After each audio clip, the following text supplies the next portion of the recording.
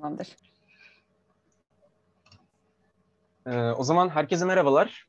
Hepiniz bu sene ilk defa gerçekleştirdiğimiz Fikend etkinliğine hoş geldiniz. Konferansımıza başlamadan önce söylemek istediğimiz birkaç şey var. Öncelikle ilk konuşmacımız Doktor Şeyda Alp'e özel bir teşekkür borçluyuz. Bu etkinlik fikrini ortaya attığımızda ilk danıştığımız kişi sizdiniz. Bu yüzden etkinliğin açılışını sizinle yapıyor olmak bizim için çok anlamlı. Ee, hepiniz daha önce gerek Boğaziçi gerek başka bir okulun düzenlediği fizik konferanslarında bulunmuşsunuzdur. Ee, biz bu sene Boğaziçi Bilim Kulübü olarak standart bir konferans vermek yerine özellikle Türkiye'de ve özellikle fizik alanında çok baskın olan akademide toplumsal cinsiyet eşitsizliği üzerine dikkat çeken bir konferans düzenlemek istedik.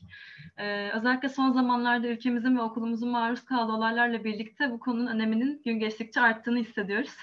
Bu yüzden bu tarz etkinliklerin daha eşit ve kapsayıcı olması gerektiğini düşünüyoruz. Önümüzdeki üç gün boyunca fiziğin farklı alanlarından uzman kişiler bizlere kendi araştırma alanlarını anlatacaklar. Umarım hepiniz bu sunumlardan kendiniz için ilgi çekici parçalar bulabilirsiniz. Bugün konuşmacımız Doktor Şeyda Apek, Washington Üniversitesi'nde parçacık teorisi üzerine yaptığı doktorasını 2015 yılında tamamlamış. Oxford Üniversitesi'nde bir süre araştırma görevlisi olarak çalıştıktan sonra Fermi Laboratuvarı'nda doktora sonrası araştırmacı olarak çalışmalarını sürdürmüştür. 2017'den beri UC Irvine'de doktora sonrası araştırmacı olarak kariyerine devam etmektedir. Akademik kariyerinin yanında 2018'den beri Bilim Kadınları Projesi'nin eş yöneticisi olarak görev yapmaktadır. Ee, konuşmacımıza söz vermeden önce Boğaziçi Bilim Kulübü olarak bu tarz etkinliklerin daha çok yaygınlaşmasını diliyoruz. Ve bilim, dil, din, ırk, cinsiyet tanımaz diyerek sözü Doktor Şeyda Epey'e bırakıyoruz. Çok teşekkür ederim. Ben e, screen share yapmaya başlıyorum o zaman.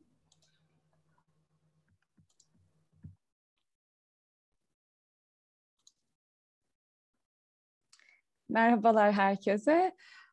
Beni davet ettiğiniz için çok teşekkür ederim. Böyle bir fizik konferans hazırladığınız için de özellikle lisans öğrenci olarak böyle böyle adımlar atılması çok hoşuma gidiyor gerçekten. Sizin dediğiniz gibi ben şu anda UC Irvine'de çalışıyorum ve Bilim Kadınları Twitter projesinin de eş yöneticisiyim. Eğer bizi Twitter'da takip etmeyeniniz varsa lütfen takip edin. Bilim Kadınları diye yaratırsanız direkt bulursunuz zaten.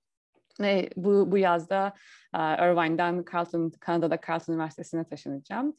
Bugün sizlere karanlık maddeden bahsedeceğim. Yani ismi karanlık ama bu konferansa ışık açar inşallah diyeyim. Karanlık madde nedir? Onu anlatmaya onu anlatmaya çalışacağım bugün ve kendi yaptığım çalışmalardan da bahsedeceğim bahsedeceğim biraz. Karanlık madde nedir? İlk başta karanlık madde evrenimizin aslında dörtte birini oluşturan bir enerji çeşidi. Şu solda gördüğünüz e, resim Hubble teleskobuyla çekilmiş. Evrenimizin çok minik bir minik bir kısmına bakan, e, minik bir kısmını gösteren bir bir fotoğraf. Bu fotoğraf evrenimiz yaklaşık birkaç yüz milyon, sanırım 400 milyon yaşındayken çekilmiş. Burada gördüğünüz o, o minik minik ışıklar, değişik renkteki ışıklar aslında bebek galaksiler. Yani çok çok genç galaksiler, daha yeni oluşmaya başlamış galaksiler. Bu galaksilerin dışında tabii burada bir toz bulutu var. Onu görmek çok kolay değil. Ama aslında bu resmin dört hani bu resimde gördüğünüz ışık ışıklı kısımlardan çok çok daha fazla olan bir başka bir enerji çeşidi ya da bir madde çeşidi de karanlık madde. Onu teleskoplarımız göremiyor. İşte evrenimizdeki karanlık madde oranı yüzde 25 aslında evrenimizde görebildiğimiz ışıklı madde ya da ışıyan madde oranı sadece yüzde 5. Işıyan maddeye normal madde ya da baryonik madde denir. Baryon, proton, nötron gibi büyük parçacıklara verilen bir isim. Bu baryonik madde bizi oluşturan bir madde yani. Bir de evrenimizin tabii geri kalanı yüzde yetmiş, yüzde yetmiş kadarı da karanlık enerji denen, on, hani daha da hiç de bilemediğimiz bir enerji çeşidinden oluşuyor ama karanlık enerjiden bugün bahsetmeyeceğim. İlk başta karanlık maddeye girmeden önce aslında biraz da normal madde nedir? Biraz derken hani sayeden bir slaytta normal madde nedir ondan bahsedeyim dedim. Normal madde parçacık fiziğinin standart model, standart model diye anlatılan bir parçacık fiziği modeli tarafından anlatılabilen ya da anlayabildiğimiz temel parçacıklardan oluşan madde. Dediğim gibi bu parçacıklar hepimizi oluşturan parçacıklar. Mesela elektronlar, fotonlar ve protonlar oluşturan kuarklar. Standart modeldeki parçacıklar, bunlar temel parçacıklar yani daha küçüğüne bölemediğimiz parçacıklar. Bu temel parçacıklar genelde üçe ayrılıyor standart modelde. Yine bir, yani bir periyodik tablo gibi düşünün. Bu, bu maddelerden bir kısmına kuark deniyor. Kuarklar güçlü nükleer kuvvetiyle etkileşen parçacıklar. Bunlar proton ve nötronları oluşturuyorlar. Mesela aptan kuarkları aptan kuarkları birleşip proton ve nötronları oluşturuyor. Altı tane kuark var ve bunların çeşitli e, yükleri var, kuantum yükleri. Mesela elektrik yükleri ya da güçlü nükleer kuvvet yükleri var. Kuarklara benzeyen, benzeyen dediğim kuarklar fermiyon dediğimiz parçacıklar. Yani içsel bir dönme kuantum yükleri var spin dediğimiz ve spinleri 1 bölü 2 olan parçacıklar. Yine leptonlar da fermiyon parçacıkları. Leptonlar güçlü nükleer kuvvetle etkileşmiyor. Sadece zayıf nükleer kuvvet ve elektromanyetik kuvvetle etkileşiyorlar. Leptonlar da mesela elektron gibi parçacıklar. Elektronu biraz daha iyi biliyoruz. Mesela bir atomun çekirdeğinin etrafında dönen elektron. Elektronun 200 katı kadar ağırlıkta olan müyon, sonra yani onun işte 10 katı ağırlıkta olan tau parçacığı ve nötrinolar dediğimiz çok çok hafif parçacıklar. Bunlar da lepton grubu. Bir de tabii ki güç taşıyıcı parçacıklar var e, sanat modelde ve evrenimizde bazı fiziksel kuvvetler var. Mesela bu kuvvetler nedir? Elektromanyetik kuvvet ve o kuvveti taşıyan e, foton, güçlü nükleer kuvvet ve o kuvveti taşıyan gluon, bir de zayıf nükleer kuvvet ve o kuvveti taşıyan W ve Z bozonları. E, foton ve gluon kütlesiz parçacıklar, W ve Z bozonları ise kütlesi olan parçacıklar. Bu, bu güç taşıyıcılar fermiyon değil, bozon dediğimiz parçacıklar. Bozonlar da spinleri bir spinleri bir ya da tam, kat tam sayı olan parçacıklar. Bir de bunların dışında yani, yani bunlara da aslında hiç benzemeyen Higgs parçacığı var. Higgs parçacığı da standart modeldeki kütleli parçacıkların kütlesini anlatan bir parçacık ve onun spini sıfır. Ona skalar parçacık deniyor. Standart model bu. Yani e, evrenimizdeki normal dediğim gibi normal ya da biyonik maddeyi, maddenin neredeyse hepsini bu model ile anlatabiliyoruz. Tabii bu modelin içine girmeyen başka bir kuvvet daha var. Bir dördüncü kuvvet daha var doğada. O kuvvet de yer çekimi değil mi? Yani yer çekiminin de tabii ki bir kuvvet olduğunu ve yer çekiminin var olduğunu biliyoruz. Ama onu kuantum bir kuantum alan teorisinde yer çekimini daha anlatamıyoruz ve standart modele nasıl girdiğini bilmiyoruz. Tabii ki de bu standart modeldeki parçacıklar yer çekimini hissediyorlar. Yani bir elektronu eğer hani, bırakırsanız o da düşecek aynı bir taş gibi. Ama yer çekiminin kuantum özelliklerini bilmiyoruz. O yüzden o yüzden bu tabloya daha nasıl girdiğini bilemiyoruz ne yazık ki. Yer çekimini bilmiyoruz ama aslında ben bir parçacık fizikçiyim. kuantum kuantum alanında çalışıyorum. Ama bugünkü konuşmamda size daha çok yer çekiminden bahsedeceğim. Bu diğer parçacıklardan değil de yer çekiminden bahsedeceğim. yer çekiminin, e, tabii yer çekimi her günlük hayatta haşır neşir olduğumuz bir kuvvet tabii ki biliyoruz. Yer çekiminin bir diğer özelliği ya da özelliği demeyeyim de e, yer çekiminin bir diğer önemli olarak iş yaptığı yerde aslında galaksimiz ya da diğer galaksilerde yani bu galak, galaktik seviyede ya da galaktik büyük birlikte. Nedir? Burada gördüğünüz ilk resim Samanyolu Galaksisi, ikinci resimde Samanyolu Galaksisi'nin artistik bir artistik bir bir anlatımı. Yıldızların hareketi aslında bu hani, böyle bir galakside ya da herhangi bir galakside yıldızların hareketi yer çekimi kuvvetine bağlı. Aslında hani bu dediğim gibi elektromanyetik kuvvet belki biraz etkisi vardır. Güçlü nükleer kuvvet tabii yıldızların oluşumunda etkili. Ama yıldızların galaksi etrafındaki galaksi etrafındaki dönmesi tamamen yer çekimi kuvvetiyle anlatabildiğimiz ve anlayabildiğimiz anlayabildiğimiz bir olay.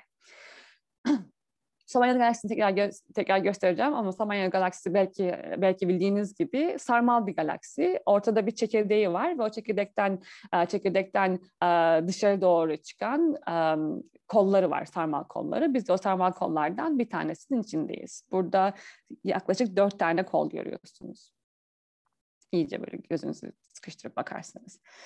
Bu Yerçekim kuvveti hakkında bildiğimiz ya da çok iyi bildiğimiz bir başka şey de iki kütle arasındaki yerçekimi kuvveti kütleler, kütleler arasındaki uzaklık büyüdükçe azalır. Ve yani burada gördüğünüz kuvvet işte kuvvet F dediğim şey G yani yerçekimi katsayısı M1 ve M1 ve M2 bu iki kütlenin iki iki cismin kütleleri D aralarındaki uzaklık. Mesela Dünya ve Ay arasındaki uzaklık, Dünya ve Ay'ın birbirine göre hareketi yerçekimi kuvvetiyle belirleniyor. Dediğim gibi bu yerçekimi kuvveti hakkında hakkında tutmanız gereken şey yerçekimi kuvveti uzaklığın karesiyle azalır. Bu yüzyıllardır neredeyse bildiğimiz ve ölçebildiğimiz ölçebildiğimiz bir bir bir özellik.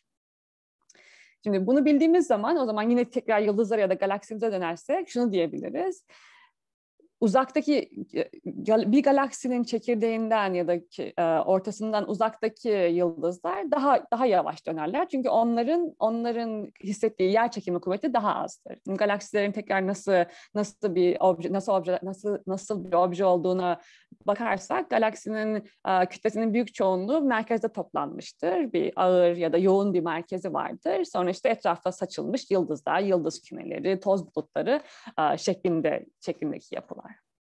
O yüzden hani kütlenin çoğunluğu merkezde olduğu için aslında yer çekiminin en çok olduğu, hani yer çekiminin toplandığı yer de merkez diye düşünebiliriz. O yüzden merkezden uzaklaştıkça beklediğimiz şey e, yıldızların kütle çekimi azalır değil mi? Yer çekimi, e, yer çekimi değil de kütle çekimi diyelim.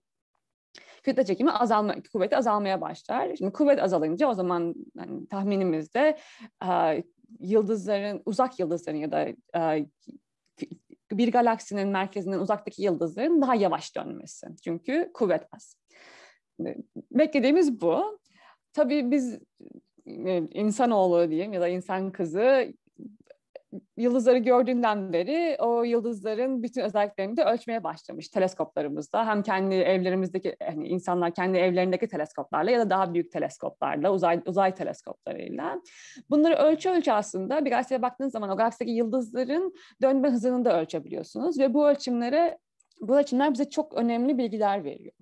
Bu ölçümlerden bu ölçümlerle dönme eğrileri ya da rotation curve denilen denilen bu şekilde grafikler yapılıyor. Burada gördüğünüz burada gördüğünüz grafik x ekseninde bir yıldızın galaksi merkezinden olan uzaklığı ve y ekseninde de o yıldızın açısal hızını görüyorsunuz. Bu buradaki galaksi NGC NGC um, 3398 denilen bir galaksi. Etraf, bir arka plandaki resim de o galaksiye ait.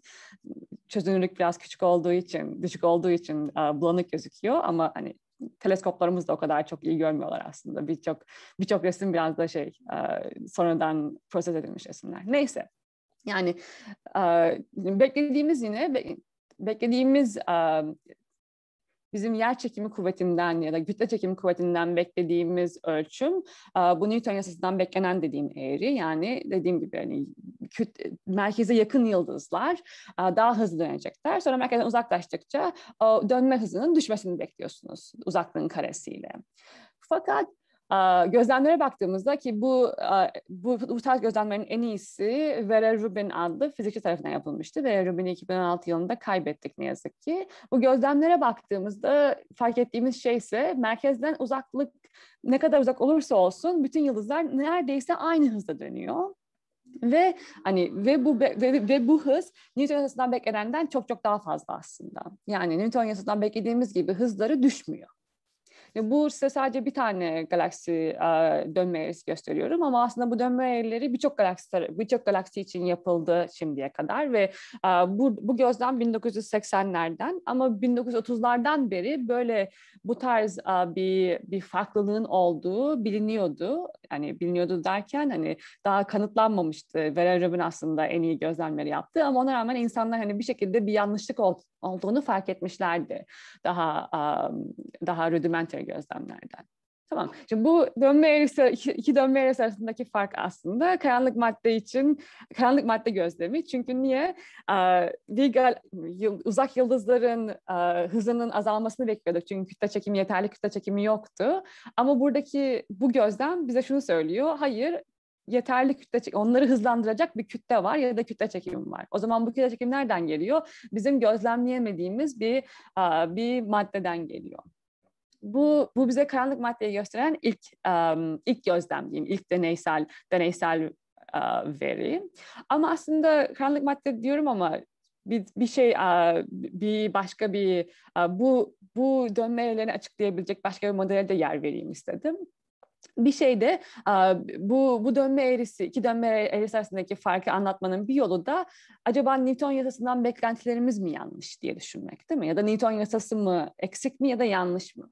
Şimdi Newton Newton kütle çekiminin eksikliğini aslında biz biliyoruz değil mi? Çünkü Newton Newton yasaları çok hızlı özellikle ışık hızında giden giden kütleleri kütlelerin fiziğini açıklayamıyor. Onu da Einstein'ın göresellik görelilik teoremi açıklıyor. O yüzden Newton Newton, Newton dinamiğinin zaten biz bir limitleri olduğunu biliyorduk aslında. O zamanlarda biliyorduk. Buradaki limit ise çok hızlı parça, çok hızlı kütleler için değil de aslında çok çok küçük ivmeli sistemlerde belki Newton dinamiği farklıdır gibi bir uh, gibi bir uh, teori diyeyim. Buna modified Newton dynamics, yani modifiye edilmiş Newton dinamikleri deniyor bu bu modele MOND. Uh, çok çok bu uh, MOND'u ortaya atan uh, bilim insanı uh, Milgrom 1980'lerde yine. Uh, Milgrom diyor ki belki diyor çok çok küçük ivmeli sistemlerde Newton fiziği beklediğimiz gibi 1 bölü 1 bölü d kare diye değil de 1 bölü d diye geçiyordur. Çünkü hani bir önceki yine ay pardon bir önceki şeye bakarsak hani yine belki yıldız hızları birazcık azalıyor ama dekareden beklediğimiz gibi değil, karesi gibi değil de hani sadece orantılı ters orantılı olarak azalıyordur diyor ve bu aslında birçok galaksinin dönme eğrisini açıklıyor bu uh, Mond teorisi. Ama Mond'un açıklayamadığı başka başka gözlemler var. Çok farklı gözlemler var. Mesela mesela bir e, mermi kümesi ya da bullet cluster denen bir gözlem var. Burada gördüğünüz şey iki galaksi kümesinin sadece galaksi değil de birçok galaksiden oluşan galaksi kümelerinin birbirinden için birbirinin içinden geçip sonra işte e, birbirinden içinden geçtikten sonraki bir e, e, bir görüntüsü snapshot'ı. Bu galaksi kümeleri birbirleriyle çarpışmışlar ama tabii galaksi kümelerinin içinde bile bir sürü boşluk var. O yüzden hani her yıldız birbiriyle çarpışmıyor ama ama bazen işte toz bu iki galaksi kümesi birbirinin içinden geçerken toz kümeleri ya da bazı yıldızlar birbirini bulup birbirleriyle etkileşebiliyorlar, çarpışabiliyorlar. Bir bir sürtünme hızı oluyor oradan. Hani böyle böyle böyle olaylarda bu galaksi kümelerinin hızları biraz azalabiliyor birbirleriyle etkileştikleri için çarpışmadan. Burada gördüğünüz iki tane aranızda aranızda renk körü olan var mı bilmiyorum ama iki tane renk var aslında. Biri pembemsi, biri mavimsi. Işık şey oklarla da onlara işaret etmeye çalıştım. Bu pembemsi alan bizim X-ray'de X-ray teleskoplarıyla gördüğümüz bölge. X-ray derken ne, neyi gözlemliyoruz? Oradan gelen ışığı ya da ışık dalgalarını, fotonları gözlemliyoruz. Bir de mavi bir alan var burada. Mavi alanda bize yer çekiminin çok olduğu bölgeyi gösteriyor. Yer çekimini de mesela um, gravitational lensing dediğimiz bir bir proseste gözlemleyebiliyoruz. Şimdi o zaman baktığınız şey şu. Işık saçan yıldızlarla yer çekiminin çok olduğu yıldızların noktaları farklı değil mi? Yani ışık saçan yıldızlar aslında buradaki bu galaksi kümelerindeki kütlenin çok olduğu yerler değil ya da, ya da ışığın çok olduğu yerler ışığın çok olduğu yerler kütlenin çok olduğu yerden aslında farklı. Bunu gösteriyor. Bunu gösteriyor bize bu burası. O zaman şu demek demek ki başka bir kütle var ve o bir şekilde yer çekimi yer çekimi yer çekimi yayıyor ya da kütle çekimi yayıyor. Bu işte ışık ışıksal merkezin ve kütlesel merkezin farklılığı bir, bir karanlık bir kütlenin yani göremediğimiz ışık saçmayan, foton saçmayan bir kütlenin olduğuna işaret. İşte Mond bu tarz gözlemleri açıklamakta biraz zorlanıyor aslında çünkü her galaksiye farklı bir um, Mond teorisi um, geliştirmeniz gerekiyor bu o yüzden hani Mond'u Mond hakkında ben çalışmadım. Ee, ve hani Mond da ye, gerek yeterli bir açıklama değil diyelim karanlık madde tarzı gözlemler için. Bu bu mermi kümesinden mermi kümesiyle mermi kümesi de hani karanlık bir maddenin olduğuna işaret eden bir gözlem. Bir başka gözlemde aslında kozmik mikrodalga ışımasına bakarak bakarak görebiliyoruz. Kozmik mikrodalga ışıması Um, evrenimiz yaklaşık 300 bin yaşındayken saçılan fotonlar diyelim ve o fotonlar şu anda evrenimiz 13.7 13.8 milyar yıl yaşında ve o fotonlar o gençlik evrenimizin gençlik yıllarından bize doğru hareket ediyorlar ve biz o fotonları görebiliyoruz. O fotonların sıcaklığı ya da enerjileri yaklaşık 3 Kelvin civarında ama hepsi 3 Kelvin değil. Bazıları azıcık daha sıcak, bazıları azıcık daha soğuk. Burada gördüğünüz resim de yani o, o fotonların sıcaklık sıcaklıklarını gösteriyor. Kırmızı yerler biraz daha sıcak fotonlar, mavi yerler biraz daha soğuk fotonlar. Bu sıcak ve soğuk noktalar arasındaki korelasyon aslında evrenin içinde ne olduğuna bağlı. Evrenin içindeki hem bayonik maddeye hem karanlık maddeye hem karanlık enerjiye bağlı. O yüzden bu bu gördüğünüz grafikte size o korelasyonu gösteriyor. İki nokta arasındaki korelasyonu kozmik mikrodalga ışımasına bakarak ya da oradaki ölçümlerden çok çok böyle çok um, precise bir şekilde evrenimizin içinde ne olduğunu görebiliyoruz ve kesinlikle bu evrenimiz, evrenimizin içinde bu gözlemlerin hepsi evrenimizin içinde elektromanyetik ışıma ile göremediğimiz ve standart modeli anlatamadığımız bir yapının varlığına işaret ediyor. Ve bu bu hani varlığı biraz da kuantify ettiğimiz zaman görüyoruz ki evrenimizin yaklaşık %20'si, %25 dedim ama aslında bu kozmik mikrodalga ışımasına baktığımız zaman bunun biraz daha %27 olduğunu görüyoruz. Evrenimizin %27'si bu karanlık madde dediğimiz bir madde çeşidinden oluşuyor ve sadece %5 civarında normal ya da biyonik madde ya da ya da foton saçan diyeyim ya da ışık bir şekilde ışık saçan ya da ışık saçan maddelerle etkileşime geçen geçen maddeler var. Ve e, geri kalanında %68 civarında da karanlık enerji dediğimiz yine dediğim gibi içine girmeyeceğim ve hiç de ne olduğunu bilmediğimiz bir enerji çeşidi var. Ama karanlık enerjinin evrenimizin genişlemesini, genişlemesinden sorumlu olduğunu biliyoruz. Şimdi karanlık madde nedir? Yani karanlık maddenin, size bu anlattığım her şey aslında karanlık maddenin varlığını ispat etmek içindi. Karanlık madde nedir? Karanlık madde hakkında bildiğimiz bazı şeyler var. Bildiğimiz şey hep dediğim gibi yer çekimi etkileşiyor. Çünkü aslında gözlemlerimizin hepsi yer çekimsel gözlemler. Yani bir şekilde bir kütle çekimi. Şimdi yer çekimi dediğim zaman insanlar bana bazen kızıyorlar çünkü aslında yer çekimi sadece dünya üzerindeki kütle çekiminin ismi oluyor. Kütle çekimi etkileşiyor diyelim. O yüzden kütlesi olmalı. Yani bir şekilde diğer yıldızların ya da diğer objelerin kütle, kütle diğer objelerle kütle çekimi etkileşiyorsa kendisinin de kütlesi olmalı. Bu, bu kesin diyeyim. Başka başka gözlemlerimizden bulduğumuz bir şey de bir şey de bu karanlık madde kütle, kütleleri bunlar hani parçacık mı değil mi bilmiyoruz ama karanlık maddenin genel olarak baktığımız zaman relativistik madde değil. Ona relativistik olmadığını söylemek için astrofizikçiler ve parçacık fizikçiler karanlık madde genelde soğuk derler ya da cold dark matter diye geçer bu, bu karanlık madde. Bu relativistik değil demek yani enerjisi düşük, soğuk kendisiyle etkileşime bir de karanlık madde kendisiyle etkileşime çok girmiyor. Bunun, bunu diyebilmemizin sebebi yine Blood Cluster resmini hatırlarsanız karanlık madde çok böyle hani yayılmış bir şekildeydi o mavi kısım. X-ray dediğimiz kısımlar daha çok böyle iç içe geçmiş kısımlar. Yani birbirine yakın gibi duruyordu. Ya da belirli bir şekli vardı diyeyim. Hani bu tarz gözlemlere bak bu tarz gözlemlere gözlemler biz aslında karanlık maddenin kendisiyle çok etkileşime girmediğini söylüyor. Bir de standart model parçacıklarıyla çok etkileşime girmiyor. Çünkü eğer standart model parçacıklarıyla etkileşime giriyor olsa mesela aynı ışıyan madde gibi ışıyan maddeyi takip ederdi. Ama ışıyan maddenin aslında olduğu yerden daha farklı yerlerde gidebildiği için standart model parçacıklarıyla çok etkileşime girmediğini düşünüyoruz. Bir de daha deneylerimizde göremedik. O yüzden hani bizim etkileşmedi daha. Bir de bayonik madde gibi kümeleşmiyor. Yani mesela bir hani yıldız oluşturur mu ya da galaksi oluşturur mu? Bunun çok olmadığını düşünüyoruz. Ama bu ilkinden başka yani kütlesi olduğunu kesin biliyoruz. Bu diğerleri aslında biraz daha az buz bildiğimiz ve belki hani doğruluğundan daha yüzde yüz emin olmadığımız e, olmadığımız bilgiler diyeyim yani. Bunlar sadece bir hani hissiyatta demeyeyim de hani veriye dayalı ama yani kesin olduğunu daha tam bilmiyoruz aslında bu e, son dört e, son dört kısmı ve onlara e, geri geleceğim tekrar. Tabii bilmediğimiz daha bir sürü şey var karanlık madde hakkında. Mesela karanlık maddenin kütlesini bilmiyoruz. Hani kütlesi var ama kesin olarak kütlesini bilmiyoruz. Yer çekiminden başka bir kuvvetle etkileşiyor mu onu bilmiyoruz. Mesela başka bir karanlık kuvvet var mı ya da bizim kendi hani, bildiğimiz kuvvetlerle zayıf nükleer kuvvetle az buz etkileşiyor mu bilmiyoruz. Karanlık madde temel parçacık mı? Yani bir elektron gibi temel parçacık mı ya da kuark gibi temel parçacık mı? Yoksa proton yoksa proton gibi daha büyük parçacıklar mı? Yoksa hani atomlar mı? Mesela bunu da bilmiyoruz. Bir de standart model parçacıkları ile hiçbir etkileşimi var mı? Hani onu da onu da bilmiyoruz daha. Hani karanlık madde hakkında aslında bilmediğimiz daha birçok şey var da bu bu ilk dördü genelde parçacık, parçacık fizikler, fizikler için e, en sorunlu bilinmezler diyeyim. Yani parçacık fizikçileri olunca hani bir parçacık fizikçi bu probleme ya da problem dediğim hani karanlık maddenin bu evrenimizin dörtte birini oluşturan yapının ne olduğunu bilmememiz.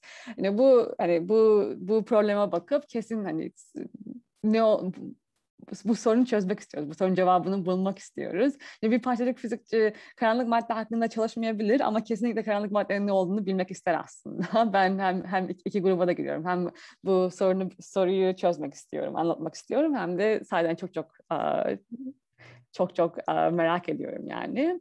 yani parçacık fizikçi olduğumuz için bir de bir bir başka hani bir bakış açımızda her şeyin bir temel parçacık olduğunu düşünmek. Hani bu bu, bu çok hoşuma giden bir bir bir karikatür. İngilizce bilmeyenler için yazı şey diyor. Eğer bir çarpıştırıcım varsa, yani parçacık çarpıştırıcım varsa bütün problemler parçacık gibi gözükmeye başlar ki öyle. Biz her problemi bu temel parçacık olarak anlatabiliriz diye bakan insanlarız, bakan kişileriz. Yani o da bizim o da o da biz Allah da bizi öyle yaratmış diyelim.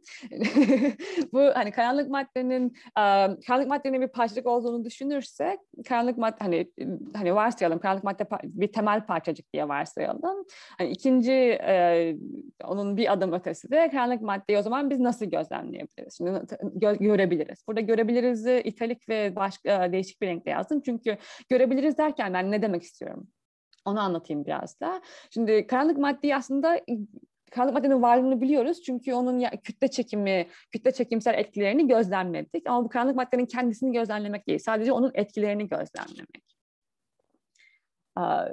bir bir şeyi bir bir bir bir maddeyi gördük diyebilmek için mesela biz deneylerimize çarptı diyelim. Yani çarptı derken ne oldu? Öyle deneyim bir karanlık madde bir bizim deneyimizdeki bir atomla etkileşti ve o atomun bir özelliğini değiştirdi mesela. Onu bir itti mi, onu titreştirdi mi ya da onu bir pro, nötrondan protona mı dönüştürdü ya da bir elektronu işte bir, bir elektronu yörüngesinden atmış olabilir mesela. Atomumuz atomumuz birden yüklü hale gelmiş olabilir. Hani bu tarz bu tarz bu tarz etkileşimlerle hani bir şekilde etkileşimi olup bize bize görebileceğimiz ya da bizim deneylerimizde bir ne bileyim bir osiloskopumuzu işte şey yapacak a, a, o söz görebileceğimiz tarzında bir şekilde bir etkileşim yapmasına biz aslında görmek ya da onu karanlık maddeyi bulmak diyoruz gibi. Ama tabii bunun böyle şeyler olması için standart karanlık maddenin standart model parçacıkları ile etkileşime girdiğini varsaymak gerekiyor. Çünkü hiçbir şekilde etkileşmese yer çekiminden başka hani deneylerimin içinden geçip gider ya da bizim kendi içimizden de şu anda geçip gidiyor mesela. Hani bu bu etkileşimleri bu karanlık maddeyi gördük diyebilmek için ilk başta karanlık maddenin standart model parçacıkları ile etkileşime girdiğini varsaymak gerekiyor. Bu varsayım aslında çok da çok da yani delice bir varsayım değil. Çünkü hani bir şekilde karanlık madde üretilmiş evrenimizde. Bir şekilde normal madde de üretilmiş. Hani ikisinin aynı yerden üretildiğini düşünmek aslında çok da hani çok da mantıksız bir şey değil yani. Eğer evrenimizin böyle ilk başlarında ikisi de aynı aynı kaynaktan geldiyse bir yani bir etkileşimleri vardır kendi aralarında da diye düşünüyoruz. İşte hani bu varsayımdan sonra tabii ama tabii bu etkileşimlerin ne olduğunu bilmiyoruz dediğim gibi. Yani bir şekilde etkileşiyorlar ama o etkileşimlerin ne olduğunu ve kuvvetlerini daha daha bilmiyoruz ne yazık ki. Karanlık maddeyi görebilmek için yaptığımız saatime bakacağım. Mesela. Karanlık maddeyi görebilmek için izlediğim ya da gözlemleyebilmek için izlediğimiz birkaç yöntem var.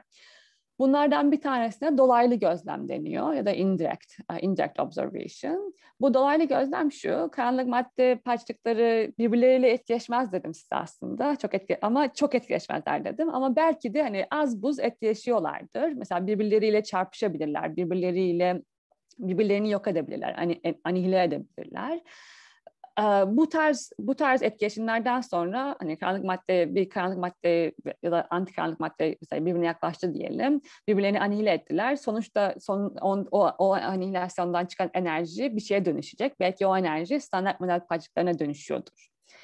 Bu yine bir hani varsayım ama olabilecek bir şey. Çünkü bu standart modelleri çok gözlemlediğimiz bir şey. İşte bu karanlık madde çarpışmalarından çıkan standart model parçacıklarını gözlemleyerek onların hani belki karanlık maddeden geldiğini sonra çıkarımsayabiliriz. Bir yöntem bu. Yani bunun olması için tabii karanlık madde parçacıklarının birbirine çok yakın olması gerekiyor. Bu ya da karanlık madde parçacıklarının yoğun olduğu yerlere bakmak gerekiyor. Bu yoğun olduğu yerlerde genelde galaksi merkezleri oluyor. Çünkü galaksi merkezleri önceden söylediğim gibi çok kütleli ve şey yoğun yerler. O yoğunluğu hani hem ışıksal madde hem normal madde açısından hem de karanlık madde açısından yoğun yerler olduğunu düşünüyoruz. Yani karanlık madde parçacıkları birbirlerine çok daha yakınlar ve o, o yakınlıktan dolayı çarpışmaları daha daha olası. O yüzden bu galaksi, galaksi merkezlerine bakan bir sürü teleskop var. Mesela bunlardan bir tanesi Fermi teleskobu. Bizim kendi hem kendi galaksi merkezimize hem başka galaksilere bakıyor.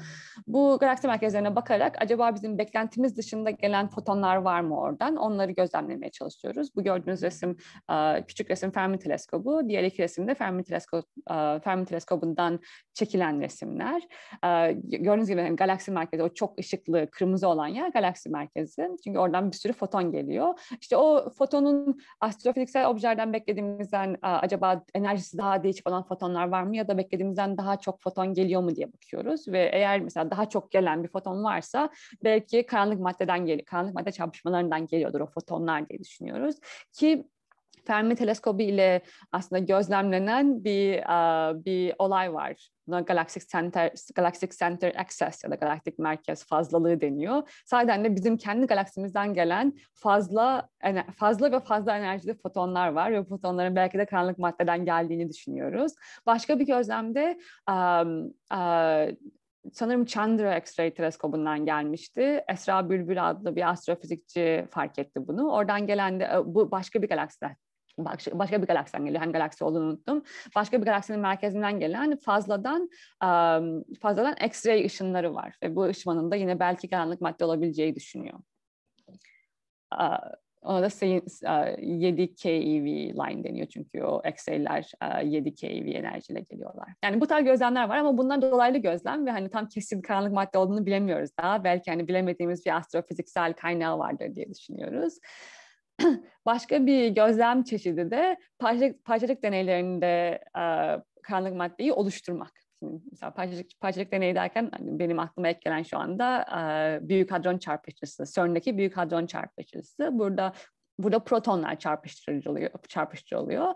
Protonlar çarpışıp birbirlerini hani parçaladıklarında ortaya çıkan bir sürü diğer parçacıklar var. Şey, um, hem kuarklar olsun hem leptonlar, bir sürü standart model parçacığı var. Belki eğer karanlık madde standart model parçacıklarıyla etkileşiyorsa belki onların yanında karanlık madde parçacığı da oluşturuyoruzdur bunu hani, hani hem oluşturup hem gözlemlemek tabii tabii çok zor şeyler ama ama buna hani bu tarz bu, bu yöntemlerle büyük hadron çarpıcısında aslında sadece sadece standart model hani sadece, sadece standart model ve benzeri parçalar değil karanlık madde araştırmaları da yapılıyor. Bu da bu da başka bir yöntem.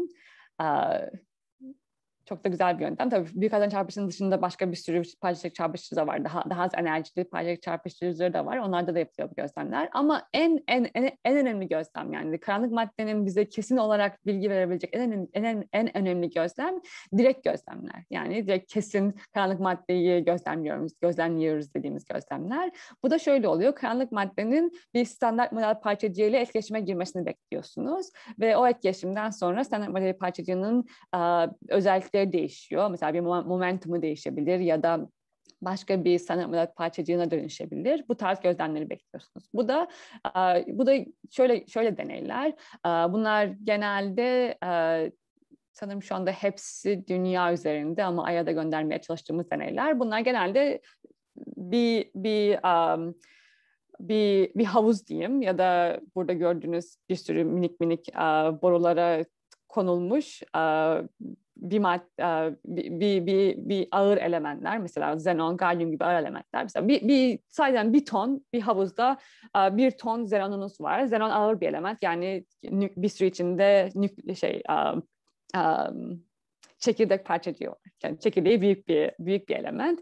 Bu, bu tarz bu tarz e, deneylerde ağır elementler kullanıyor. Çünkü çekirdeğinizin içinde bir sürü proton ve nötron varsa o size e, karanlık maddeyle çarpışma olasılığınızı arttırıyor. Çünkü hani çarpışabilecek bir sürü parçacık var diyeyim. Hani bunları işte bir yere koyuyorsunuz. Genelde genelde bunlar bir tünele konuluyor. Çünkü başka başka mesela kozmik ışılmalarla etkileşmesini istemiyorsunuz falan. Sonra bir karanlık madde parçacığının gelip deneyinizdeki xenonlara ya da galyuma çarpmasını bekliyorsunuz ve o çarpışmadan hani bir şekilde o çarpışmayı gözlemlemeye çalışıyorsunuz. Şimdi etraf karanlık madde her yere yayılmış durumda. Bizim etrafımızda da karanlık madde var. Etraf, dünyanın etrafında karanlık madde yoğunluğu yaklaşık bir santimetre küpte bir gigaelektron volt kütlesinde karanlık madde var aslında. Hani bunu bu yüzden hani bu tarz deneylerde hani çok değil ama bu tarz deneylerde yılda bir 3-5 tane belki karanlık madde olayı görmeyi bekliyorsunuz. Hani umuyorsunuz diyeyim. Şu ana kadar gözlemleyemedik. Yani gözlem olmayınca o zaman şey diyebiliyorsunuz. Karanlık maddeyi ve standart model arasındaki standart model parçacıkları arasındaki çarpışma olasılığı şundan daha düşük olmalı. Hani bizim beklediğimizden daha düşük olmalı. İşte bu şekilde etkileşimlerine etkileşimlerine sınır ya da limit koyabiliyorsunuz gözlem olmayınca. Ama tabii ki umudumuz hani gözlemin olması ve böylece biz aha kesin karanlık madde standart model parçacıklarıyla etkileşebiliyor diyebilelim. Bu da direkt gözlemler. Bu e, dediğim gibi en önemli gözlemler. Burada size sadece Zenon Montan deneyini gösteriyorum ama bir sürü bu şekilde deney var. Mesela Lux Lux Zeppelin denen bir deney var. Um, Panda X denen bir deneyler var. Genelde X, parçacık fiziğinde X ya experiment demek ya da xenon demek. İşte isimler, isimlendirmeler oradan geliyor. Bir diğer uh, yine aslında indirect gözleme giren bir, bir tarz uh, karanlık madde um, gözlem değil mi? Karanlık maddeyi bulmanın bir başka yolu da astrofiziksel simülasyonlara dayanmak. Şimdi bu simülasyonlar bu simülasyonlar çok büyük hani süper kompüterlerde yapılan simülasyonlar ve evrenimizin nasıl oluştuğunu anlamaya çalışan simülasyonlar. Yani bunlar işte evrenimizin bu ilk bir çekirdek bir minicik minicik bebek evrenden başlayıp onu sonra işte genişletip galaksiler nasıl oluşmuştur, sonra galaksiler içinde yıldızlar nasıl oluşur, bu tarz simülasyon, bu, hani bunları an, anlatmaya çalışan simülasyonlar ve bu simülasyonlara bazı veriler girmeniz gerekiyor. Mesela demeniz, şunu demeniz gerekiyor, evrenin işte yüzde yetmişi karanlık enerji, yüzde beşi normal madde, yüzde yirmisi karanlık madde diyorsunuz. Mesela o bir veri simülasyona giren. Sonra karanlık madde hakkında bazı şeyler, bazı varsayımlar girmeniz gerekiyor. Mesela dediğim gibi karanlık madde soğuk demeniz gerekiyor. Mesela relativistik değil o mesela soğuk dediğiniz zaman oluşan evren bu ilk başta bu üç, üç şeklin ilki buradaki mesela e, buradaki gördüğünüz ışıklar galaksiler işte e, minik minik galaksiler var birbirinden ayrılar mesela hani belirli yere kümeleşmişler. Bu bir simülasyonda gö- görülen bir simülasyonun sonucu tamam mı? Soğuk karanlık maddeyle yapılmış bir simülasyon. Ama şöyle de diyebilirsiniz karanlık madde belki soğuk değil de azıcık bir enerjisi var ılık bir hani warm dark matter yani hani enerjisi çok değil ama az hani bir, bir enerjisi var diyorsunuz. Öyle bir evrende galaksiler nasıl olurdu diye sorabiliyorsunuz ve bu simülasyonlar size cevap veriyor. Gördüğünüz gibi mesela burada yine büyük bir galaksi var ama o galaksinin böyle bir kuyruğu var gibi mesela yine ışıyan bir kuyruğu var. Mesela o hani değişik bir değişik bir galaksi çeşidi ve hani bizim gözlemlerimizde uyuşuyor mu uyuşmuyor mu bunu sorabiliyorsunuz. O zaman diyorsunuz ki eğer mesela gözlemlerimiz tamamen ilk ilk galaksi gibi ise o zaman hani karanlık madde soğuk olmalı, ılık olamaz diyebiliyorsunuz. Bir de bulanık karanlık madde diye bir karanlık madde çeşidi var. Bu da çok çok hafif olan e, bir karanlık madde. Mesela oradaki galaksiler yine ılığa benziyor bakarsanız ama detayına baktığınız zaman böyle minik minik iplikler var. Galaksinin kuyruğundan çıkan görebiliyor musunuz bilmiyorum ama mesela o iplikler tamamen bulanık karanlık maddeye özel bir bir beklenti. Mesela yine bunları gözlemlerimizle elimizdeki veriyle karşılaştırıp hani kesin karanlık madde bulanık değildir diyebiliyor muyuz diye sorabiliyoruz. Hani gözlemlerimiz şu anda hani astrofiziksel gözlemlerimiz aslında çok da iyi değil ve hani mesela hala karanlık maddenin tam olarak soğuk değil de ılık olma ihtimali var mesela. Bu tarz hani simülasyonları verilere verilerle karşılaştırarak karanlık madde hakkında bilgi edinmeye bilgi edinmeye çalışabiliyoruz. Bu da bu da değişik bir yöntem. Ben ben simülasyon yapan bir insan değilim. Yani ben parçalık fizikçiyim. Ben benim yaptığım şey daha çok bu simülasyonların eğer veriden farklıysa ne tarz bir karanlık madde gerekir o veriyi anlatmak için onu düşünmek. Ki böyle bir simülasyon ve veri arasındaki farklılık aslında bayağıdır olan bir şey. E, simülasyon, karanlık madde, soğuk karanlık madde simülasyonları ve gözlemlerimiz hakkında. Buna bu bu gözlemler burada da azıcık bir kendi yaptığım işten bahsedeyim istiyorum bir beş dakika olur mu? Sonra da soru alırız yoksa bitireyim mi? Tabii ki tabii ki yani sizin için nasıl uygun olacaksa. Tamam. Çok yani uzatmak istemiyorum çünkü soru da almak istiyorum. Bu işte simülasyon gözlem arasındaki farklardan bir tanesi ne kayıp kayıp uydu problemi deniyor. Şimdi yaptığımız simülasyonlara soğuk karanlık maddeyle yaptığımız simülasyonlardan e, simülasyonlardan çıkan bir çıkan bir sonuç var. Bu sonuç şu. Samanyolu galaksisi tarzı bir galaksi için yani yani büyük Samanyolu galaksisinin kütlesi yaklaşık 10 üzeri 12 yıldız güneş kütlesi tarzında bir galaksinin etrafında aslında biz daha böyle minik minik uydu galaksi, satellite galaksi denen galaksiler bekliyoruz. Bunlar minik dediğim yani Samanyolu galaksisinden çok daha küçük ve daha çok böyle karanlık maddeden oluşan galaksiler. Bunların olmasını bekliyoruz ki gözlemlemek zaten. Ama simülasyonlara göre böyle, bu tarz uydu galaksilerin sayısı on binlerce olmalı. Yani çok çok fazla olmalı. Eğer soğuk karanlık madde e, modeli doğruysa. Ama bizim gözlemlerimiz şu anda gözlemleyebildiğimiz uydu galaksi sayısı 20-30 en fazla hani 2016'dan beri ne kadar kaç tane gözlemleyebilirim ama ne, olsa olsa 50 tanedir. Yani hani 10 binler ve 50 tane hani çok büyük bir farklılık aslında. Niye bizim daha fazla gözlemlediğimiz uh, uydu uydu galaksi yok? İşte buna kayıp uydu problemi deniyor. Kayıp dediğimiz hani simülasyondan beklediğimiz 10 bin tane, gözlemlediğimiz 30 tane bu aradaki aradaki aradaki uydular nasıl kayboldu tarzında bir problem. Bir de şu da, bir de yine bu uh, simülasyon ve verileri karşılaştırdığımızda şeyde bakabiliyoruz. Bu galaksilerin kütlesi galaksi. Bu X ekseninde gördüğünüz galaksinin galaksinin kütlesi ama aslında sadece 300 kiloparsek pardon 300 parsekteki kütlesi. Y ekseni de o dağılım, o kütlenin dağılımı. Yine simülasyonlardan beklediğimiz gördüğünüz gibi birçok kütle birçok kütlede gelmesini bekliyoruz o, o, o galaksilerin ve azaldıkça kütle azaldıkça sayıları da artıyor. Bunu hani 10 üzeri 6'dan bile daha küçüğe getirebilirsiniz ama gözlemler sanki bize şunu diyor 10 üzeri 7 güneş kütlesinden daha küçük galaksi yok onun gibi bir bir veri var aslında gözlemlere baktığımız zaman. Yani hem bize şunu diyor, hem daha az galaksi var, uydu galaksi var, hem de uydu galaksilerin bir kütlesinin bir alt sınırı var veriye göre. Tamam mı? İşte bu hani bu da kayıp uydu probleminin başka bir başka bir verisi ya da başka bir problemi hem galaksi hem galaksi sayısının azlığı, uydular sayısının azlığı hem de kütlesinin küçüklüğü. Bunu bunu hani şey diye sorabiliyorsunuz. Bu, bu sınırı oluşturan ne? Acaba karanlık maddenin değişik bir özelliği bize bu sınırı veriyor mu?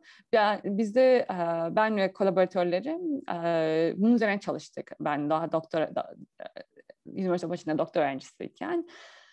Bu sınırı aslında anlatabildiğimiz bir fiziksel bir olay var. Çok enteresan. Ondan bahsedeyim. Çok da detayına girmek istemiyorum. Şimdi galaksiler nasıl oluşur diye düşündüğümüzde, evrenimizdeki yapılar nasıl oluşur, diye düşündüğümüzde evrenimiz hakkında bilmemiz gereken başka bir şey var. Evrenimiz genel olarak homojen yani evrenimizdeki enerji dağılımı bayağı homojen. Ama tabii çok yani evrenimiz, evrenimizin ilk başlarında bile küçük yoğunluk perturbasyonları var. Yani homojen diyoruz ama mesela dünyamız aslında etrafındaki boşluktan hani homojen değil. Hani ondan daha yoğun bir kütle değil mi? Aslında aslında hani bu homojenlik bir yere kadar hani küçük küçük lokal olarak perturbasyonlar oluşabiliyor. Yoğunluk perturbasyonları yani hani etrafından birazcık daha yoğun olan yerler.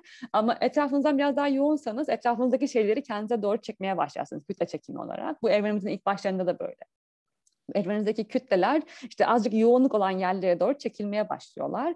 Ama normal maddeyi düşünürsek hani bu kütle çekimi sizi çekiyor ama bir yandan da çok yaklaşamıyorsunuz diğer parçalara çünkü bir basınç var fotonlardan gelen elektromanyetik bir basınç var. O yüzden bir düşüyorsunuz çok yaklaşınca sizi iten bir basınç var. Bu diş, bu düşme ve itilme olayı bir şekilde bir osilasyon oluşturuyor. Bunlara akustik osilasyonlar deniyor.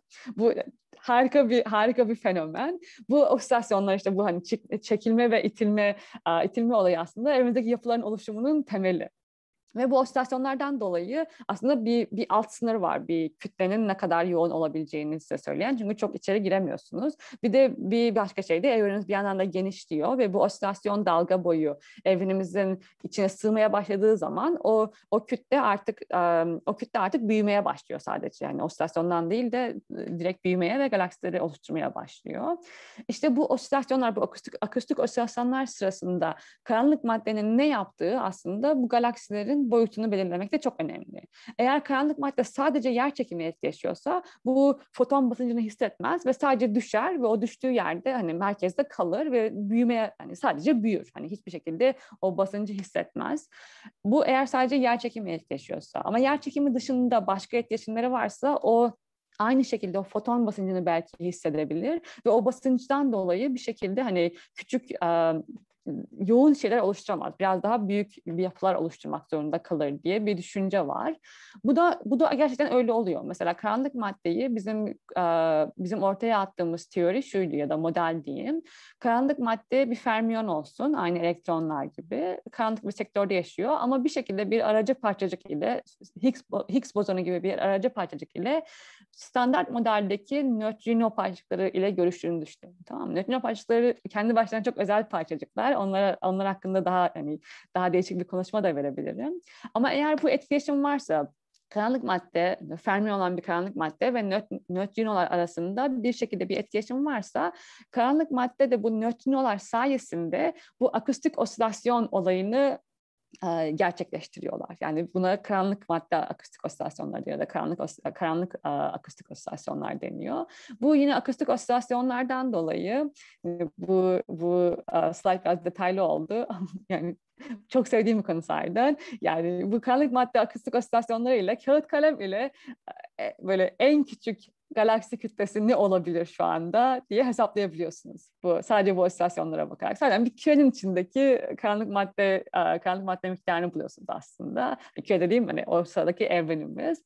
Bu da size bu işte bu osilasyonlar size bir alt sınır veriyor. Bu alt sınır yaklaşık 10 8 güneş kütlesi ve karanlık maddenin karanlık maddenin enerjisine bağlı olarak da yani bağlı olarak biraz artabiliyor da azalabiliyor. Ama yaklaşık 10 üzeri 8 e, güneş kütlesi ve hani yaklaşık bu hani kağıt kalemiyle yaptıktan sonra biraz daha detaylı denklemler çözerek çözme, çözmeye başladığınızda bu galaksilerin alt sınır galaksi kütlelerinin alt sınırına bakabiliyorsunuz. Buradaki buradaki grafik size x ekseninde karanlık madde kütlesi var. Kütle dediğim zaman ben bunu enerji birimi olarak yazıyorum ama hani E eşittir mc kareden C'yi 1'e eşitlediğiniz zaman kütle ve enerji birbirine birbirleriyle eşitten yani kütle, yerine enerji birimlerini kullanabiliyorsunuz. Bu parçacık fiziklerinin çok yaptığı bir e, yaptığı bir e, e, bir oyundur. Şimdi x ekseninde karanlık madde kütlesini görüyorsunuz. Y ekseninde de bu aracı parçacık dediğim parçacığın kütlesi.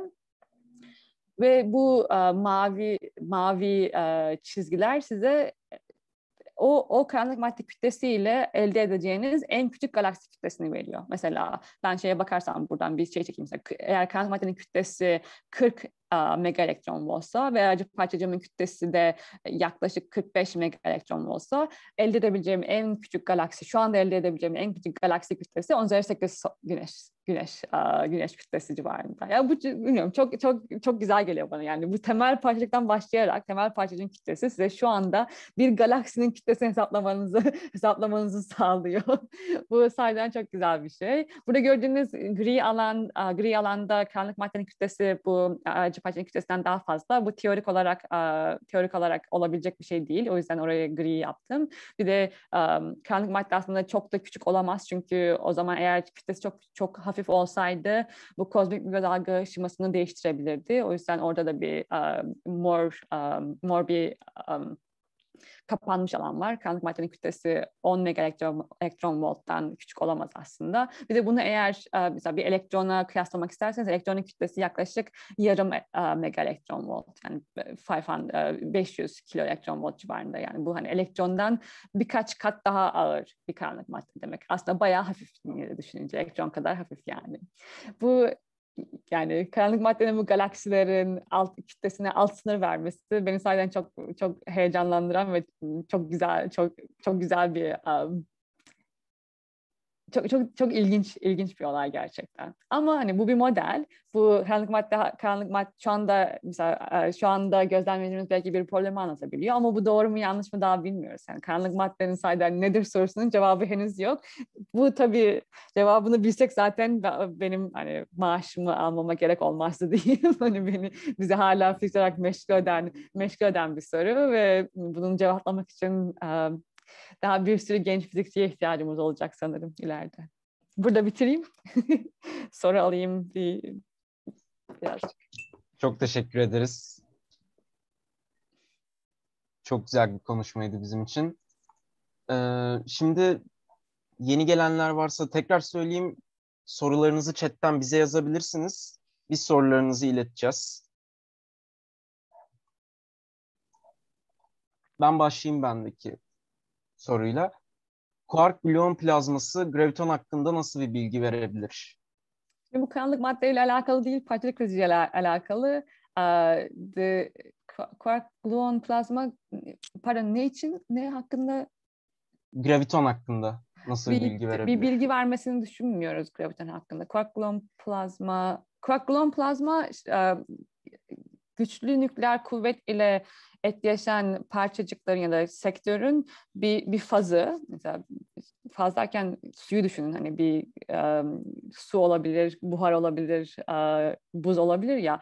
Bu kuarklar ve gluonlar, güçlü nükleer kuvvetle etkileşen parçacıkların değişik fazları var. Mesela bir tanesi kuark gluon plazma. Burada hepsi quarklar ve gluonlar e, özgür bir şekilde dolaşabiliyorlar.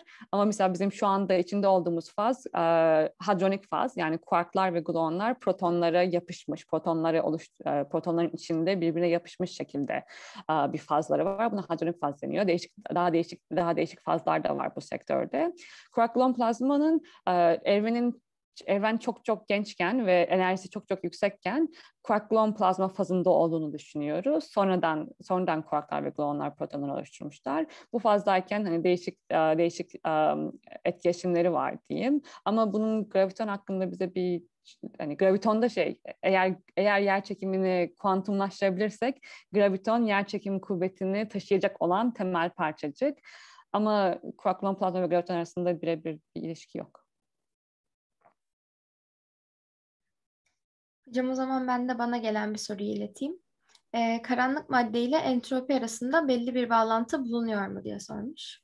Çok güzel bir soru. Şimdi entropi şu demek. Entropi yani bir kaos gibi düşünün ama entropiye entropiye kat evrendeki entropiye katkı sağlayan parçacıklar hafif parçacıklar. Hafif derken yani kütleleri sayeden böyle ya evrenin sıcaklığıyla aynı ya da daha düş daha daha daha düşük olan ya da enerjisi evrenin sıcaklığından daha yüksek olan parçacıklar diyeyim. Mesela foton yani entropiye entropiye katkı sağlıyor. Nötrinolar çok hafif parçacıklar ve enerjileri yüksekse entropiye katkı yapıyorlar ve eğer karanlık madde çok hafifse bu da entropiye katkı entropiye katkı yapabilir evrendeki entropiye. Ama şöyle bir şey var. Mesela ne zaman yapabilir bunu? Şimdi evrenimiz çok çok gençken e, evrenimiz çok çok sıcakken tabii parçaların da enerjileri de yüksek. Hani evrenimizin entropisine karanlık maddeden gelebilecek e, gelecek gelebilecek katkıyı um, biz sınırlayabiliyoruz. Yine bu kozmik mikrodalga ışımaları ve bir de daha hiç bahsetmediğim Big Bang nükleosentezis ile. Bunun, bu, bu gözlemler bize entropiye katkı, karanlık madden ne kadar gelebilir sorusunu cevaplıyor ve ona sınır koyuyor. Ve gözlemlediğim, yani şu anda diyebildiğimiz kadarıyla karanlık madde entropiye, entropiye katkı etmemesi gerekiyor çok fazla. Çünkü evrenimizde ölçtüğümüz entropiyi standart model parçacıkları ile neredeyse anlatabiliyoruz. Yani onun çok iyi örtüşüyorlar. O yüzden karanlık maddenin entropiye katkı sağlamasını sınırlamamız gerekiyor modellerimizde. Ben de bir tane daha soru var. Bizim karanlık madde dediğimiz başka bir evrendeki normal bir madde olabilir mi? Başka bir evren derken eğer başka bir yerde dediğimiz gibi bu multiverse olayına giriyor aslında. Yani hani bizim kendi evrenimiz var, başka bir evren var hani şeklinde. Hani bu olamaz çünkü başka evrenleri gözlemleyemiyoruz. Şimdi evren derken biz aslında sadece zaten zaten görebildiğimiz görebildiğimiz ufka evren diyoruz. Yani yani bizim evrenimizin de göremediğimiz kısımları da vardır. Göremediğimiz derken şey o, o oradan gelecek ışıklar ışık bize ulaşabiliyor mu ya da oradan gelecek bilgi bize ulaşabilir mi? Bize evren dediğim evren dediğim her şey göre, görülebilen evren. Yani bizim event horizon'ımızda olan yerler. O yüzden hani başka bir evrenin başka bir evrenin karanlık maddesini görüyor olmamıza olmamıza imkan yok aslında. Ama şu olabilir, hani evren diyorum ama mesela biz genelde bir de parçacık fizikçi olarak şey deriz. Karanlık sektör, işte normal sektör diye sektör sektör ayırıyoruz evren aslında. Kendi evrenimizin içinde hani belki bilemediği, hani daha göremediğimiz ve karanlık maddenin içinde olduğu bir bir baş, evrenimizin alt kısmı diyelim ya da evrenimizin hani kapsadığı ama evrenimizde daha göremediğimiz bir sektör vardır ve bu sektörün içinde sadece bir bir temel parçacık değil de belki daha değişik yapılar da vardır. Yani mesela, mesela karanlık madde hani karanlık madde diyorum ama belki karanlık maddeler vardır. Belki karanlık madde sadece karanlık madde değil de mesela karanlık protonlar vardır, karanlık nötronlar vardır, karanlık hidrojenler vardır. Mesela biz standart modeli ya da görebildiğimiz görebildiğim evrenin görebildiğimiz kısmını düşündüğümüz zaman sadece bir elektron yok değil mi? Yanımızda hani bir sürü miyonlar da gözlemliyoruz, nötronlar görüyoruz, protonlar, hani yıldızlar görüyoruz. Hani bu niye bir karanlık sektörde de böyle yapılar olmasın? Hani vardır belki de. Ee, bana bir tane soru geldi. Sunumun başında evrenin 300 bin yaşındaki fotoğrafları gösterildi ve evren 13 milyar yıl yaşında diyoruz. Bunlar nasıl hesaplanıyor? Evrenin çok eski hallerini nereden biliyoruz? Çok güzel bir soru. Ben bunun hakkında bir köşe yazısı yazdım sanırım. Ben Bir Gün Gazetesi'nde ayda bir kere falan yazı yazıyorum. Eğer oraya da bakmak isterseniz. Şimdi biz evrenin yaşını, şimdi evrenimizin, evrenimiz um, genişliyor sürekli. Genişlerken de bir yandan da soğuyor. Evrenin yaşı ve enerjisi aslında birbirine bağlı şeyler ve biz genelde bu ikisini genelde yani biz derken fizikçiler diyeyim bu ikisini biraz böyle şey değişken olarak kullanabiliyoruz. Yani evrenimizi yaş derken evrenimizin mesela bir sıcaklığını oradan gelen fotonların sıcaklığını ölçtüğümüz zaman ah demek ki evrenimiz şu yaştaymış o fotonlar oluştuğunda diyebiliyoruz. Bir bir yöntem bu aslında bu uzaklık ölçümü. Ama bir yandan da mesela bazen uzak dediğimiz şeyler yıldızların uzaklığını ya da bir galaksinin uzaklığı hani biz, bizden fiziksel olarak uzaklaştıkça aslında bir yandan da o fotonları gözlem, gözlemlediğimiz zaman aslında o galaksilerin bizden zaman olarak da uzaklıktaki resimlerini çekmiş oluyoruz. Anlatabiliyor muyum bilmiyorum. Yani mesela bir, bir galaksinin gençliğini görmek aslında o bizden sahiden fiziksel olarak da uzakta olan bir galaksiyi görmek demek fizikçiler için. Yani bunlar hani çok karışık yöntemler ama hani çok çok belirli şeyler var. Ee, bir tercümesi var yani bize gelen fotonların sıcaklığı ya da dalga boylarıyla evimizin uzaklığını ve yaşını nasıl ölçebildiğimize dair. Bana şimdi bir tane daha soru geldi. Ee, karanlık madde ve normal maddeler arasında Big Bang'de nasıl bir etkileşim geçirmiş olabilir? Ve bunun evrenin sonunu buradan tahmin edilmesi mümkün mü? Şimdi ikinci soru için kesinlikle hayır. Evrenin sonunun, sonunun tahmin etmek mümkün değil ve hani bir sürü bunun hakkında model ya da teori var diyeyim ama aslında hiçbir de Big Bang yani bunun Big Bang'e bağlı olmasına bile gerek yok evrenin sonu, sonu için. Ama Big Bang şöyle evrenimiz bu bir teori değil mi? İşte bir, bir teori olarak evrenimizin çok küçük bir um, enerji yoğunluğundan yani direkt büyümeye başladığını düşünüyoruz. Ama o büyüme aslında maddeleri, parçacıkların nasıl oluştuğunu anlatmıyor. Bu sadece evrenimizin uzay zamanının oluşumunu anlatan bir şey. Ama bir yandan da bir, bir um, parçacıkların nasıl oluştuğunu anlatan mesela modellerden bir tanesi bu bu büyümeyi sağlayan bir bir alan var diyeyim. Buna işte, bu büyümeye genelde inflation, enflasyon deniyor. O inflation yapan bir parçacık var. Ona inflaton deniyor.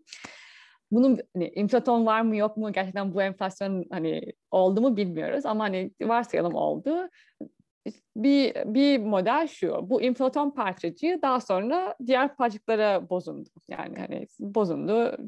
Inflaton parçacığı o bozulmadan işte standart modeldeki parçacıklar, parçacıklar oluşmuş olabilir. Elektronlar, miyonlar gibi. Hani o bozulma sırasında belki yani bir kısım enerji de karanlık maddeye geçti karanlık madde olarak olarak oluştu diyeyim.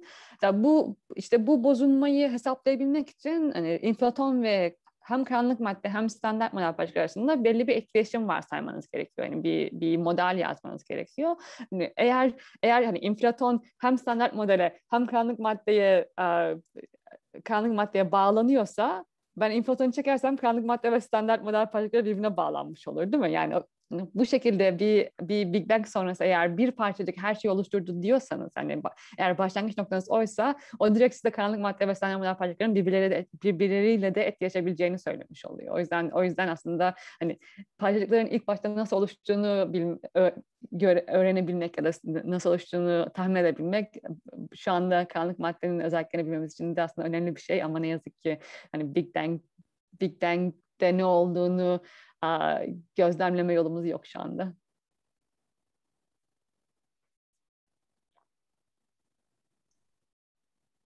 Teşekkür ederiz. Ee, son bir iki tane daha soru alalım. Ondan sonra e, yavaştan bitirelim. Ben de bir tane var. Ben sorabilirim. Ee, vakum ile karanlık madde arasındaki etkileşimi açıklayabilir misiniz? diye bir soru gelmiş bana. Tam anlayamadım soruyu ama vakum dediğimiz şey yani vakum derken sanırım vakum, vacuum enerji demek istediler belki yani vakum enerjisi. Şimdi bu aslında karanlık enerjiye giriyor. Karanlık madde değil. Karanlık madde ve karanlık enerji iki, iki farklı şeyler. Şimdi vakum enerji şu. Biz standart modelde kuantum alan teorisinden anlayabildiğimiz kadarıyla vakum maddesizlik yani içinde hiçbir şey olmayan şey demek ama evrenin her yerinde bir um, nasıl diyeyim size? Evren, evrende evren derken eğer evrenin uh, uzay zaman yapısına bakarsak o uzay zamanın içinde bulunan bir enerji var. Ve o enerjinin o, o enerji hani parçacık oluştu hani o, o, o uzay zaman içinde bir hani kuantum parçacıkları sanal parçacıklar oluşup oluşup yok edilebilirler. Hani bir sürü bir sürü bir sürü şey olabilir. İşte ona ona denk gelen bir enerji birimi var. Ona vakum enerjisi deniyor. O yüzden bu vakum enerjisini hesaplayabiliyorsunuz ya da ama ya da, ya da evrende hani ne kadar olması gerektiğini hesaplayabiliyorsunuz ve bu vakum enerjisi aslında bir yandan şey evrenin genişlemesiyle de alakalı alakalı bir bir olay o enerjinin hani belli özellikleri var. Karanlık maddenin hani karanlık madde vakum enerjisi değil. Tabii ki vakum vakumda karanlık madde de oluşturulabilir. Çünkü hani belli bir kütlesi var. Eğer o kütleye denk gelen bir enerji varsa karanlık maddeyi de oluşturabilirsiniz. Ama birbirleriyle direkt bir alakası yok yani vakum enerjisinin ve karanlık maddenin. Sanırım karanlık enerji demek istediler belki de karanlık madde ve karanlık enerjinin hiçbir alakası yok. Bilebildiğimiz kadarıyla. Teşekkürler. Ee, çok teşekkür ederiz sunum için. Ee, daha fazla soru alamayacağız çünkü e, zaten bir saat sonra tekrardan e, bir konferansımız daha olacak. Sunumunuz çok güzeldi. Çok teşekkür ederiz bizim davetimizi kabul edip geldiğiniz için. Çok mutlu ettiniz bizi. Ben teşekkür ederim.